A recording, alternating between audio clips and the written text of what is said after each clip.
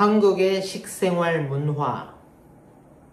저는 한국어를 배우기 시작하면서 어학뿐만 아니라 식생활에 많은 관심을 가졌습니다.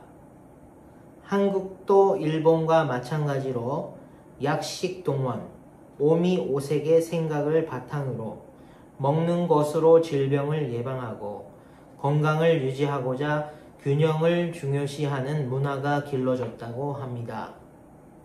동양 철학에는 항상 음양과 오행이 있었고 이로 인하여 생로병사 역시 그 영향을 받는다고 강하게 믿어왔습니다. 그렇기에 동양의학에서는 약제 역시 음양과 오행을 따지고 그것을 환자의 병세에 따라 처방하는 경험론적 의술이 시행되었습니다. 여기에는 수술과 같은 외과적 의술도, 의술도 있었는데 효를 으뜸으로 하는 유교 사상을 기본으로 하는 조선 왕조 시대에는 신체 발부 수지부모 사상에 의해 외과적 의료 행위는 금지됩니다. 이로 인하여 외과적 의료 행위는 침, 뜸, 부항과 같이 매우 간접적이거나 제한적인 수준에 머무르게 되었습니다. 그렇게 외과가 없어진 곳에 약식동원 사상이 발달하게 된 것입니다. 첫째는 아프지 않도록 잘 먹는 것이고, 둘째는 아픈 것을 낫기 위해 잘 먹는 것이었습니다.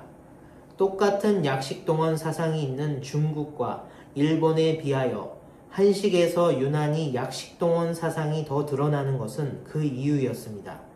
한편 조선시대 궁중에는 임금의 식사 전에 음식에 독이 있는지를 확인하기 위해 항상 자신이 먼저 한 숟가락씩 먹어 본 후 이상이 없으면 왕에게 올렸다는 기록은 너무나 재미있었습니다.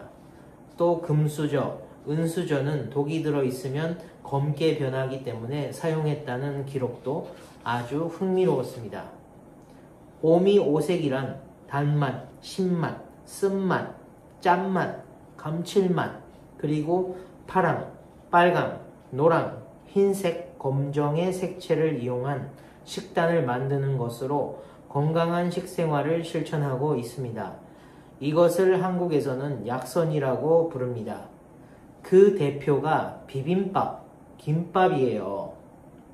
야채를 많이 이용하여 안에 넣는 재료를 바꾸는 것만으로 외형도 맛도 즐길 수 있는 영양 밸런스가 뛰어난 영양 만점의 식사입니다. 또한 흔히 한국 요리에서 사용하는 양념 역시 한자어 약념에서 유래한 것으로 맛과 간을 보다라는 의미의 약과 조미료라는 뜻의 념이 합쳐진 말입니다. 맛과 간을 좋게 하는 행위를 약을 짓다고 부르던 것이고 맛과 간을 좋게 하는 조미료를 약념이라고 부른 것입니다. 한국의 신토불이라는 그 땅에서 채취한 재료는 그 땅의 조리법으로 먹는 것이 가장 몸에 좋다는 생각은 일본의 지산지소와 같습니다. 채소를 많이 섭취하고 균형 잡힌 식사가 건강한 몸을 만든다는 관점에서도 한국의 식생활이 현대의 유기농 트렌드에도 연결되어 있는 것 같습니다. 저는 이런 한국 요리를 너무 좋아하게 되었고 더욱 한국을 좋아하게 되었습니다. 앞으로 한국말을 더 공부하여 한국에 직접 가서 한국 요리를 먹고 싶습니다.